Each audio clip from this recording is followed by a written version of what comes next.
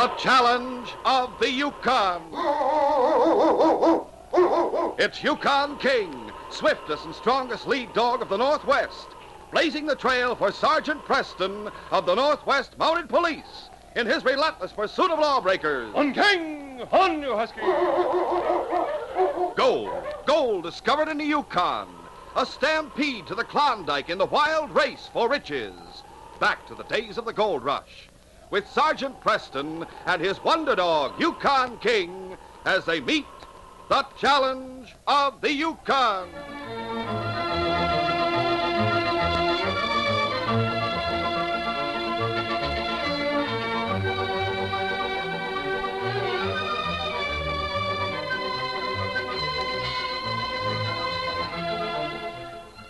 Neil and John Fletcher were brothers who owned the general store and cafe at Brandon Point in equal partnership. Early in the winter of 98, they also acquired a number of claims on the upper reaches of Christmas Creek.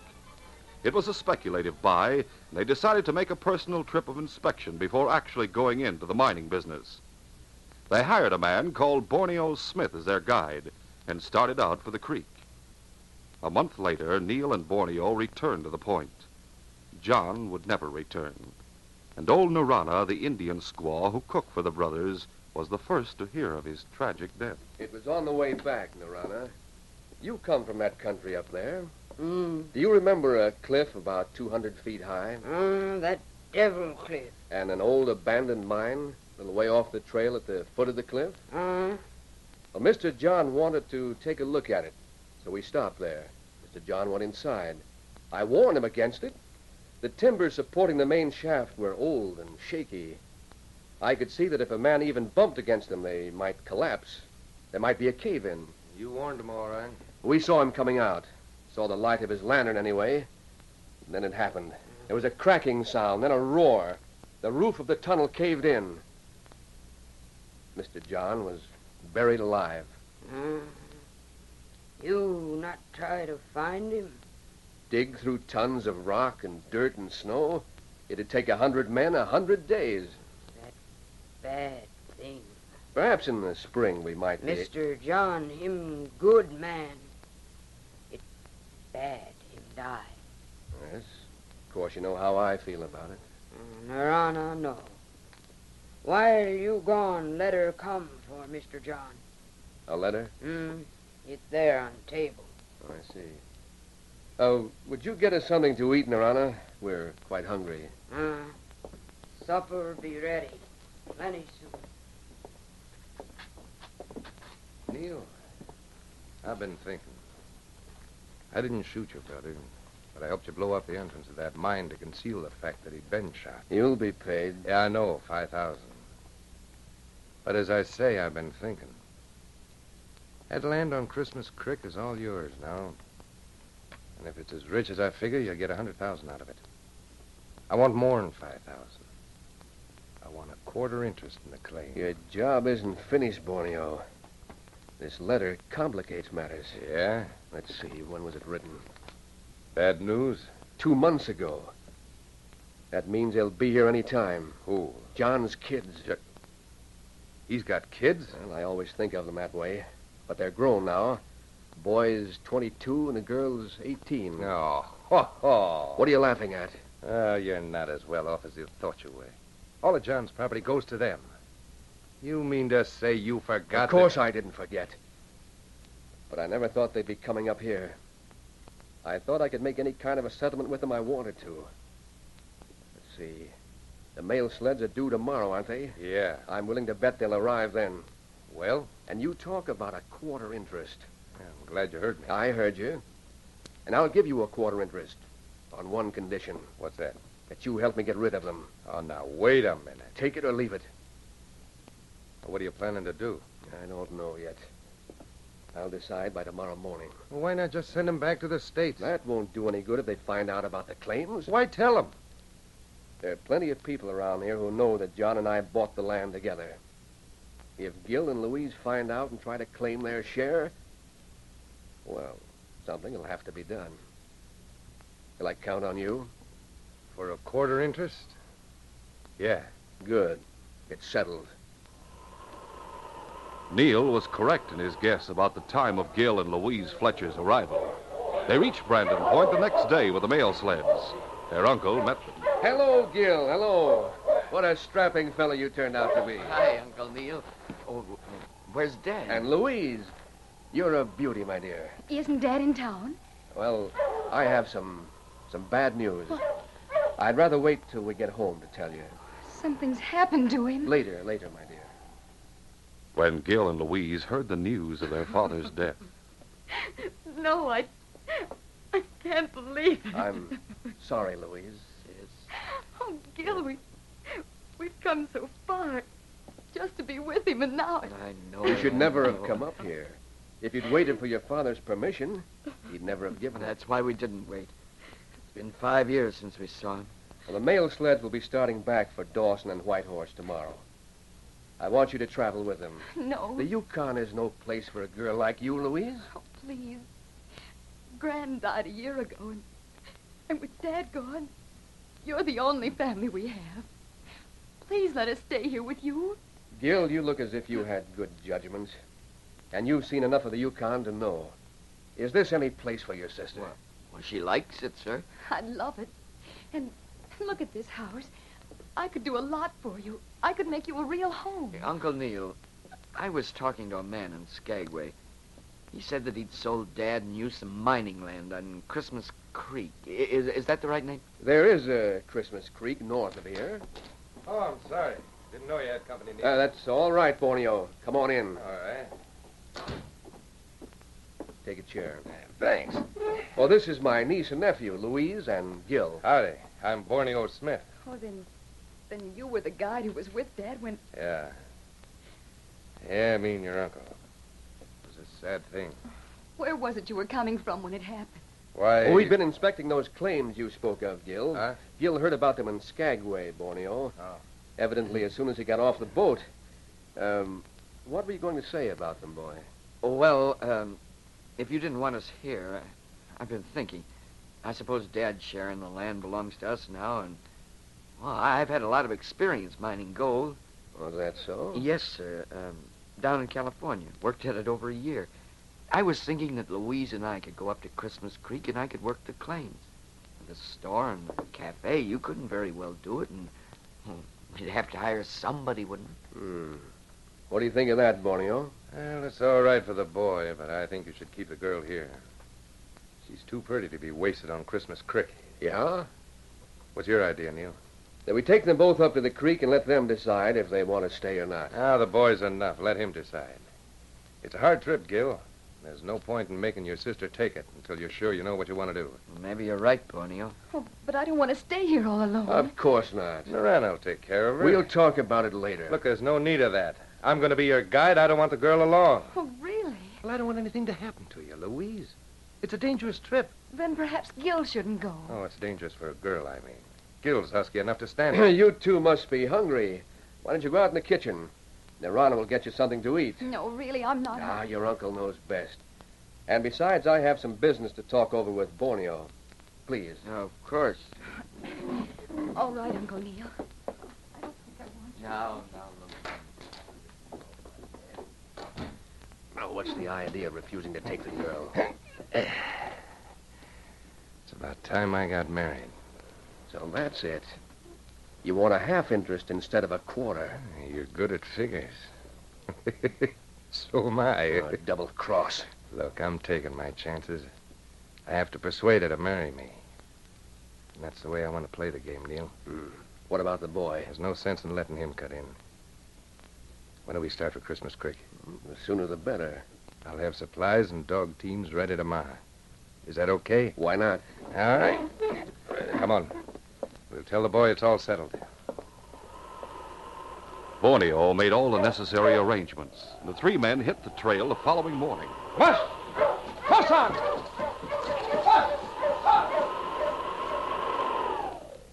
Louise had smiled as she said goodbye to Gil. But long after he had gone, she sat at the window. About noon, a dog team raced into town from the direction of the Indian village to the south. One man was riding the sled, another ran behind it. Narana, come here. Uh, what you want? There's a dog team heading this way. Come and look at the lead. Oh, I've never seen such a beauty.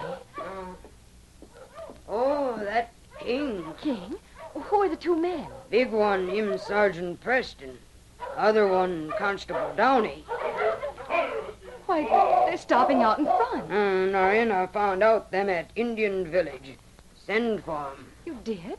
Why, they're Northwest Mounted Policemen, aren't they? That right. Narana have bad dream. Tell Sergeant. What are you talking about? Narana let Sergeant in. All right, King. Come on, boy. Hello, Narana. How? Got him, Your Honor. Sweeping Bull brought you a message. What's wrong? This Mr. John's girl. Oh, yes. I heard you arrive, Miss Fletcher. I'm Sergeant Preston. This is Constable Downey. Hello. How do you do? Your father was a friend of mine. You have my deepest sympathy. Thank you. Isn't your brother here? Him go to Christmas Creek with Mr. Neil. Borneo Smith. That's so? They started this morning. Gil, my brother, may stay up there and work the claim. You go after them now, Sergeant. After them? You go. Why? Why should the sergeant go after them? Narana have bad dream. Great shaman come to her in sleep. Tell her true. Great shaman told you what? Mr. Neil kill Mr. John. Narana! Mr. Neil make Mr. John walk into mine. Then him shoot. There was a cave in. That's the way I heard it. No, Mr. Neil. Borneo use blasting powder. Goes up tunnel. You're sure you dreamed this, Narana? Mm. She comes from Christmas Creek, Sergeant. It could be the great shaman she's talking about, a member of her tribe. Narana dream. Uncle Neil couldn't do a thing like that. Not to my father. Not to his own brother. Mm, You go, Sergeant. Boy, never come back. You not hurry. Oh, don't say things like that, Narana. Sergeant, you, you don't believe her, do you? There can't be anything in a dream. Miss Fletcher, most of the Indians in this district respect the law, but they're afraid of it. They don't like to get involved in any way. Her Honor says she had a bad dream. It might be that some member of her tribe saw what happened, came here and told her. Is that true, Narana? Narana dream more. Soon Mr. Gil, Mr. Neil fight on cliff. Soon Mr. Gil meet his father. No. That's enough for me. She knows something. How much start do they have? Four hours. They could make the top of Devil's Cliff by tonight. Uh-huh. Four hours start. King, we'll have to make fast time if we aren't going to be too late. Oh, oh, oh, Come on, Jim. Right with you. The early dusk of the Northland had closed in before Borneo, Neil, and Gil reached the bottom of the trail that led to the top of Devil's Cliff. A light snow was falling as well, but they continued on up to the summit. By that time, night had fallen, and they prepared to make camp. Gil, now we go to work? We find that this is a lot different from traveling with mail sleds. No, we spend a few nights in the open. I know the routine. Every man does his share when it comes to making camp. That suits me. All right, then how about cutting down some of those small firs for the campfire? Over there, by, by the edge of the cliff. Yep. Oh, hey, uh, uh, is the mine where Dad, uh, at the bottom of this cliff? No, Gil, that's farther on. We'll reach it tomorrow. Oh, Here, here's an axe. oh, thanks. Uh. And after you cut down the saplings, strip off the boughs. We'll use them to sleep on. Right.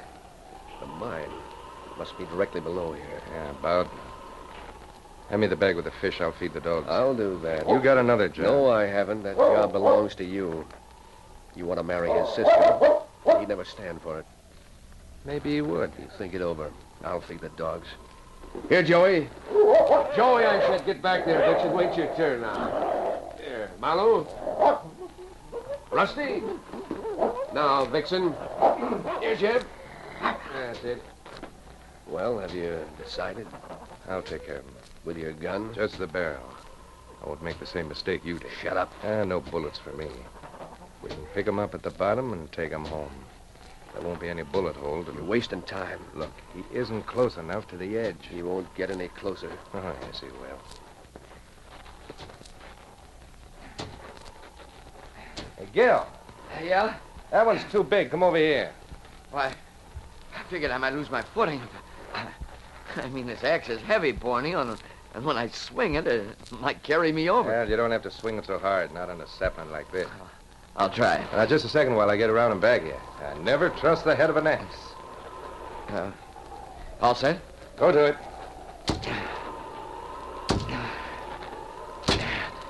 That's the way. Yeah. I guess I was. Hey. Hey, what's the matter? Nothing, mister. Oh, oh, oh, oh. Good work, Borneo. Ah, you're wrong. What's the matter? Look over the edge. Huh? He only dropped about 30 feet. That ledge caught him. We must be dead, though. I don't think so. Then you can put a bullet through him. What, and leave him lying there for the next traveler to find? You got a lot of brains. What do we do? Hey, listen. That's a dog team. Where? Down the valley. And look, a lantern, do you see? And two men. They stopped just below here. The entrance to the mine. They're looking at it. Yeah. Borneo. I recognize one of those men. The light caught him full in the face for a second there. Who? Sergeant Preston. Ah, you can't be sure. I am. Get back from the edge so he can't see us. What, way up here without any light? Sergeant will be coming up here. What are we going to do? Leave Gil where he is? I don't know. Let me think. Shut up, you mutts. Yeah, we'll harness the team. Yeah, then what? It's snowing harder every minute. What of it? Everything's okay. I don't see it. Look, the cold will get Gil in less than an hour. And what's more, the snow will cover him up. Even if the sergeant comes by this way, he won't find him. And there won't be any sled tracks for him to follow. Follow where? Where are we going? West. We'll take the long trail back to Brandon Point. There'll be a lot of questions asked when we get there. Come on, Joey, on your feet. Oh, oh, oh. What do we say? Line up the team. But what do we say? We'll tell the truth. Boy fell off the cliff and landed on a ledge where we couldn't reach him. With a rope? We had no rope. Now, come on. Let's get out of here. Climb aboard. Right. I'm all set. Bust, Joey. Bust!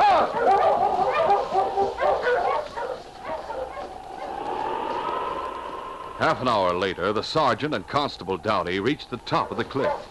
By that time, Borneo's prophecy had come true. They fought their way through a heavy snowstorm.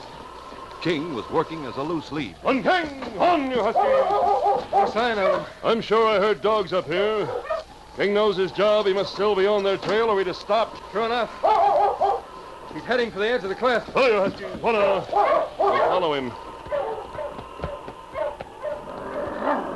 Look at this tree, Jim. Someone chopped it down. Not very long ago either. The cut isn't weathered at all. There's another one closer to the edge. And left lying. King's looking down into the valley. What is it, boy? I can't see anything. I do. Down on that ledge. It's a man. Yes, yes, could be. It is. Dead? We'll have to find out. A rope was tied around one of the larger trees close to the edge of the cliff and dropped down to the ledge. The sergeant went down the rope slowly. The wind tore at his hands. Any false move meant instant death. But at last he reached the temporary safety of the narrow ledge. A swift examination, and he knew that Gil was still alive. Must be the boy. He isn't dead yet. Good. The sergeant tied the end of the rope under Gil's arms and tested his knot. Then he went up the rope hand over hand, and with Constable Downey's help, they raised the unconscious boy up to the top. There. Blankets and brandy, Jim. Then a fire. We'll have to work fast if we're going to save him. Right, Sergeant. It was at practically that same moment that Louise, staring into the fire in the living room of the Fletcher home, was startled by the door opening behind Wait. her. Oh, Narana. Uh, it's time for you to go to see Father. What are you talking about? You come with me. You go see Father. He's dead. No. Me take you to see him now. But I don't understand. Where? It's not far away. Indian village. His body. Is that what you're trying to say? They've recovered his body? Oh, but they couldn't have, Narana. You heard Uncle Neil. You were told just as I was. He was buried in the mine and nothing can be done about it until spring. Your father lives. You don't mean that. Mm. Indian medicine man try to help him, but him need help of white doctor. You go to doctor, tell him. You, me, doctor, go out to Indian village. Dad is alive. Mm, you come with me. Oh, yes, Narana, yes, of course I will. You, you're not fooling me, are you? You're telling me the truth. Mm, Narana, tell you true. Oh, as soon as I get my coat, oh, Narana, Dad alive, I can hardly believe it. Five minutes later, Louise was knocking on the door of Dr. Moran's house. Oh, please, please, doctor. My dear young lady, what's the matter? Oh, you've heard the story of my father about the cave in the mine. I, I really don't know. I, oh dear. Please, please control yourself. Well, Narana here.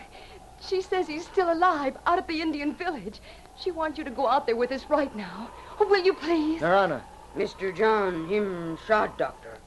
There, bullet in chest. You bring sharp knife. Take bullet out. I don't understand any more about it than you do, Doctor, but oh, please, if he is alive, if, if there's any chance of saving his life. I'll be right with you. The Indian village was only two miles outside of Brandon Point. An hour later, the doctor had completed his operation and was able to reassure Louise. He'll live, Louise. He'll live. Thank heaven. Thank heaven. His condition is critical, very critical. Can't be moved under any circumstances. Not for at least a week. But how did he ever get here from the mine at the foot of Devil's Cliff? I'm just as interested as you are, and I intend to find out. Narana, come here. Uh, what you want? Mr. John is going to live. Oh, that good. But I'm not going to stand for any nonsense. None of this rigmarole about dreams you've been telling Miss Louise. I want the truth. Since Neil Fletcher and Borneo took the long trail back to town from Devil's Cliff, it was nearly morning before they reached Brandon Point. Louise met them at the door of the Fletcher home. Why have you come back? Tell Narana to get us some breakfast. Why have you come back? We had an accident. Where's Gil, Uncle Neil? Now, don't get hysterical. You've killed him! Narana! What put such an idea into your head? Borneo told you there was an accident. Sit down, kid. I'll tell you all about it. You don't have to. I know you killed him! Narana! Why are you calling her? You not move, Mr. Neil. Narana, shoot. Why you? What's the idea of the gun? Mr. John come home. What? Narana's people bring him home. Yes, and I saw him. He'd been shot. Borneo. Keep quiet. Sergeant arrest you and him come. Oh, so that's it. hmm? You thought no one would ever know, but Narana's people told her what had happened. Narana dream. You're still dreaming. She's only saying that. They told her, and she sent a message to Sergeant Preston. He followed you to save Gilbert.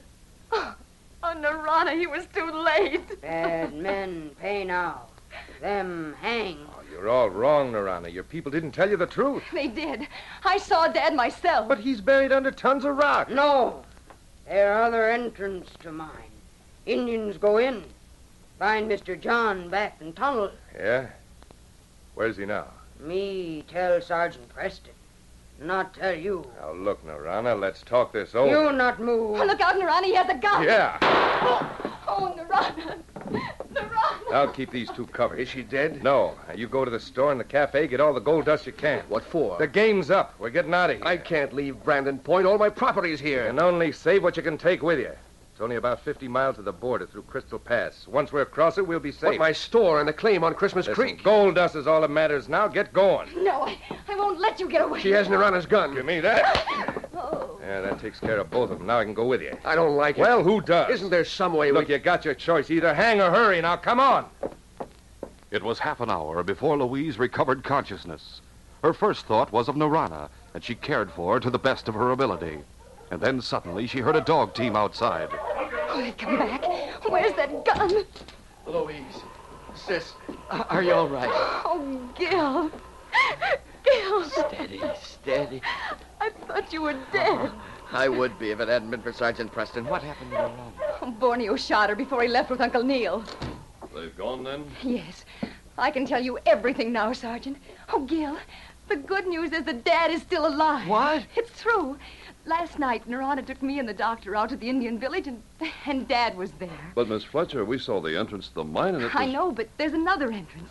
And after Uncle Neil and Borneo left, the Indians went into the mine and, well, they found Dad. Alive. He'd managed to crawl far enough back in the main tunnel to escape the blast. The Indians recognized him and knew that Narana worked for him. They sent a message to her. That explains her dream. Yes. And there are men in the Indian village who saw Uncle Neil shoot Dad. Is your father conscious? Not yet, but the doctor says he'll pull through. Who are the Indians who saw the shooting? Narana can give you their names. How is she? Her pulse seems to be steady. Well, she's weak, of course. Do you know where your uncle and Borneo have gone? They're trying to cross the border through Crystal Pass. Jim, Yes, Sergeant. take charge of things here. I'll go after them. If you catch them, it'll be two against one. I'll travel faster oh. alone. Narana's trying to say something. What is it, Narana? Oh, You go get them, Sergeant. Oh. I'll do my best. Come on, King. Toward nightfall of the same day, two desperate men were racing for the opening of Crystal Pass. They could see the sergeant less than half a mile behind them, and Borneo whipped his team into a new burst of speed. Mush! Faster! Mush! They can't keep it up. They'll have to till we get through the pass, and we'll be over the border. Mush! The sergeant's in range now. Duck low on the running board. Now shoot over here. All right, go ahead. Shoot his lead. Right. I hit him. Ah, you fool, you hit nothing. That isn't his lead yelping. It's our lead, Joe. He's gone lame. Now we'll have to take cover behind those rocks over there and shoot it out. Oh, you mutt! Oh! Whoop! Oh! All right, come on, move. I don't want to die. Come on and fast, you yellow rat. If you want to live, shoot to kill. Here. All right, take cover. Yeah. Well, start shooting. I'll have to show myself to aim. And he's the best shot in the Yukon. He'll get us both. You rat. I'm going to surrender and take a chance on a trial. You'll hang. He's coming straight on. Yeah, and I'll stop him. I got a beat on him now. No! Borneo, I told you, the best shot. Don't, don't shoot any more, Sergeant. I give up. I surrender. Okay. Hey, Husky. Ho, ho. Sergeant, I want to make a full confession. None of it was my fault. He forced me to help him. He may have something to say about that when he recovers. He's dead. I only winged him. He hit his head on that rock. He'll be well enough to wear handcuffs as soon as I put a bandage on that shoulder. Sergeant, I swear. Never mind the talk. You're both under arrest in the name of the Crown. I warn you, anything you say may be used against you. I swear I. The charge is attempted murder. Attempted? Yes, you weren't as successful as Cain. You didn't succeed in killing your brother. Oh. Come over here. I'm going to handcuff you to the G-pole of your sled. I won't try to get away. I'll make sure of that. One hand will be enough. There. I'll take care of Borneo and get him on the sled. You'll drive ahead of me back to Brandon Point. From there, it's Dawson, jail, and the end of the trail for you and Borneo. This case is closed.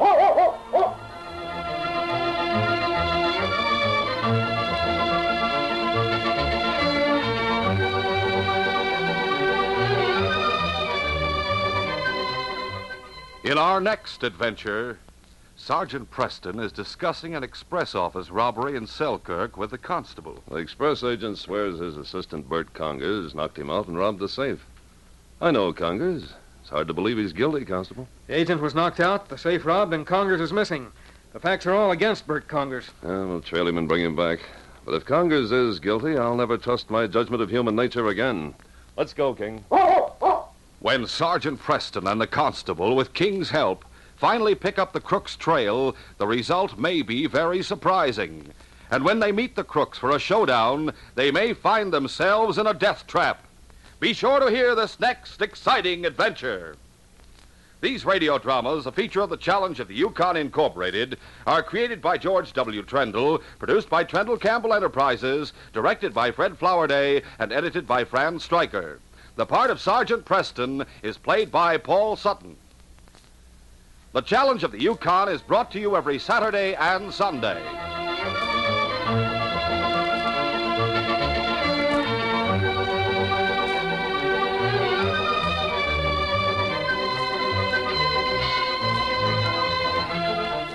This is J. Michael wishing you goodbye and good luck until our next adventure.